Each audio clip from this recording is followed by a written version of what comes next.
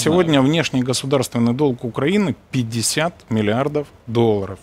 Золотовалютные резервы чуть больше 25. То есть у нас долговых обязательств по внешнему государственному долгу больше, чем ресурсов, которыми мы можем это погасить. Это первое. Ну, для примера, в 2013 году госдолг был 37 миллиардов. То есть он за это время вырос на 13 миллиардов. Понимаем, да? Это деньги, которые мы с вами будем отдавать.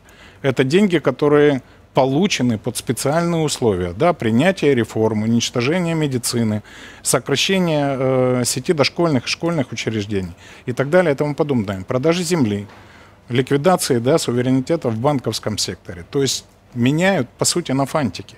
Я согласен, дороги необходимы. Дороги – это важный стимул развития да, транзитных Я потоков, конкретно, логистики. вот это вот великое будівництво, вот эти дороги, факторы, которые наблюдают люди, обычные люди в Про регионах. большое строительство обычно говорят там про 5 школ, 5 там Да. чего-то, стадионов. Но это фиксируют на местах. Я знаю, что в Змеевском районе сейчас построят первую школу, которая еще была при моем рождении.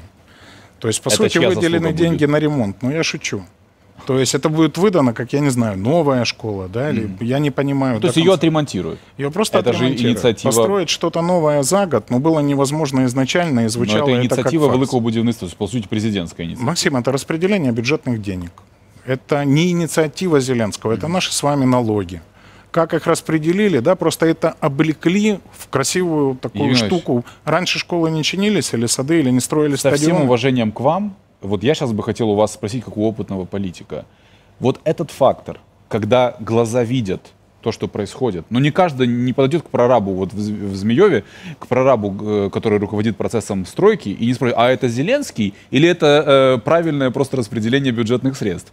Все же, ну, то есть, когда есть пиар большой, когда видно, что там происходит строительство или там ремонт школы, все понимают, о, наверное, это Зеленский красавчик. Вот этот фактор повлияет на как раз-таки на местах во время выборов э, в октябре, если они, конечно, произойдут. На местах повлияют персонали, в первую очередь, которые будут баллотироваться от той или иной политической силы.